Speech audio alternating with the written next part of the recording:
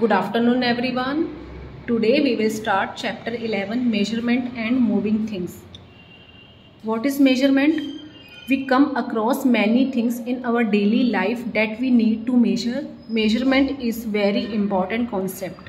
Without measurement we will not be able to do our work in an effective manner.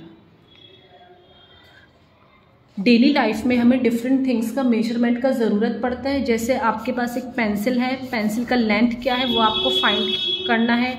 आपकी body का weight क्या है, आपकी height क्या है, इन सब के लिए हमें मेज़रमेंट की ज़रूरत पड़ती है।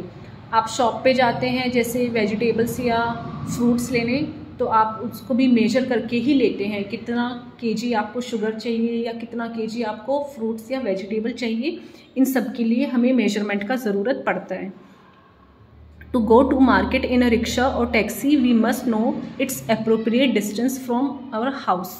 अगर आपको मार्केट जाना है तो आपको घर से मार्केट का डिस्टेंस पता होना चाहिए। उसी के अकॉर्डिंग रिक्शा या जो टैक्सी है वो उतना चार्ज करेगा।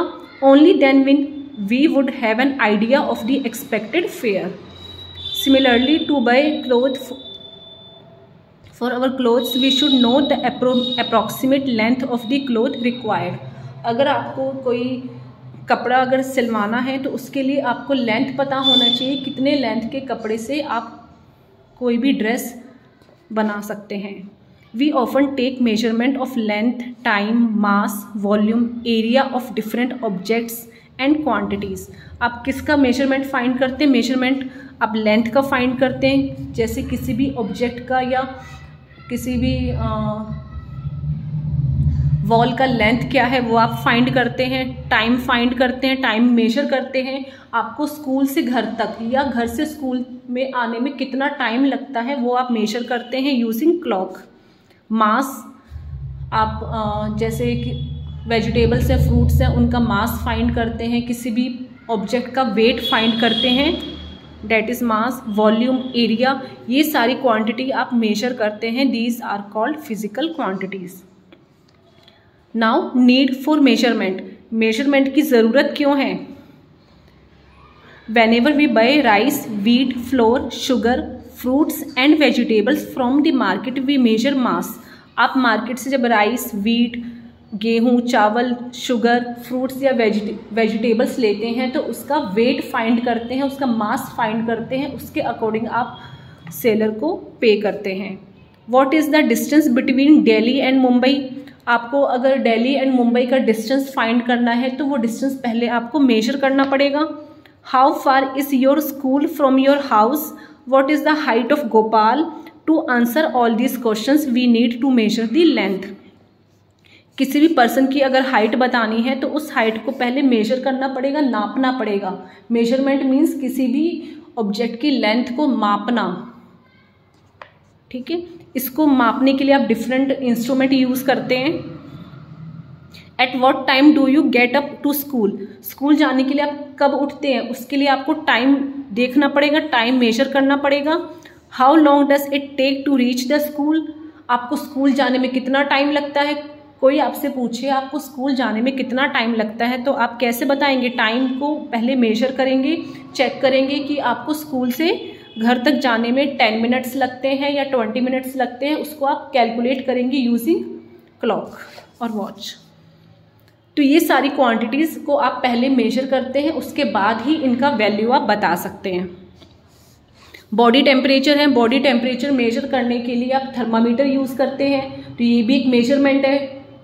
आप डायरेक्टली ऐसे नहीं बता सकते कि आपका बॉडी का टेम्परेचर क्या है। आपको instrument that is thermometer use करके बॉडी का टेम्परेचर पहले फाइंड करना पड़ेगा, उसके बाद आप उसकी वैल्यू बता सकते हैं। तो ये सारी क्वांटिटीज़ क्या है? फ़िज़िकल क्वांटिटीज़ जिनको हम मेजर कर सकते हैं। Now what is measurement any quantity that we study in physics is known as physical quantity physical quantity क्या है? फिजिक्स में जो भी हम नॉन लिविंग ऑब्जेक्ट्स के बारे में स्टडी करते हैं, जैसे ऑब्जेक्ट की वॉल्यूम ऑब्जेक्ट का mass length is these are physical quantities now physical quantity की डेफिनेशन क्या है? The quantity which can be measured is called physical quantity वो क्वांटिटी जिसको मेजर किया जा सके, जिसको नापा जा सके that is called physical quantity length आप मेजर कर सकते हैं.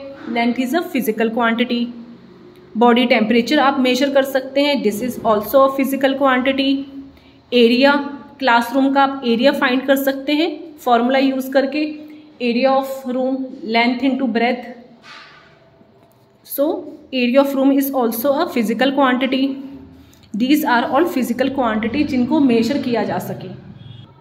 Need of standard unit measurement of length and distance came quite early as the human had to walk to और travel different distances to reach various places पहले के समय एक जगह से दूसरी जगह जाने के लिए डिस्टेंस मेजर करना पड़ता था। उस टाइम पे इतने डिवाइसेस या इंस्ट्रूमेंट नहीं थे। उस टाइम पे हम अपने बॉडी पार्ट्स या हैंड एंड फुट को यूज़ करके डिस्टेंस फाइंड कर करते थे। In ancient times he use his fingers hands arms and feet for the measurement of length. पहले के समय में लेंथ को मेजर करने के लिए लेंथ को नापने के लिए फिंगर्स हैंड एंड आर्म्स का यूज़ किया जाता था। The width of finger was one angul this is one angul and four angul combine होके क्या बनाएँगे? One palm so this is one palm one angul four angul mean one palm अगर इस book का आपको डिस्टेंस फाइंड करना है, पहले के समय में डिस्टेंस हम पाम यूज़ करके फाइंड करते थे। One palm two palm, three palm, four palm. And what is hand span this is thumb and little finger इनके बीच में इनको जब स्ट्रेच करेंगे this distance is one palm one palm two palm पहले के समय में जब स्केल या मेजरिंग टेप नहीं होते थे तो हैंड्स एंड फुट को यूज़ करके आप डिस्टेंस फाइंड कर सकते थे. एंड क्यूबिट क्या होता है? क्यूबिट इज़ दिस एल्बो से लेके जो मिडल फिंगर का डिस्टेंस है दिस इज़ कॉल्ड क्यूबिट पहले के समय हैंड्स को यूज़ करके भी डिस्टेंस फाइंड किया जाता था। फुट फुट है this is one foot then two foot three foot जब किसी लैंड का अगर एरिया फाइंड करना है, उसके लिए आप फुट यूज़ करके भी डिस्टेंस फाइंड कर सकते थे। तो these are the different methods use in ancient time पुराने के, पुराने समय में इन सारे मेथड को यूज़ किया जाता था डिस्टेंस फाइंड करने के लिए, बट ये जो मेथड्स है, ये एक्यूरेट नहीं है।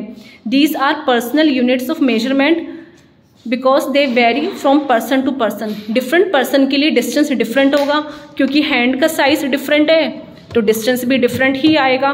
So these units are not reliable हमें एक रिलायबल यूनिट चाहिए, एक स्टैंडर्ड यूनिट चाहिए जो यूनिवर्सली एक्सेप्टेड हो, जिसकी वैल्यू चेंज ना हो। ठीक है? इनकी value person to person change होगी क्योंकि साइज़ हैंड्स का, फुट का, सबका डिफरेंट होता है।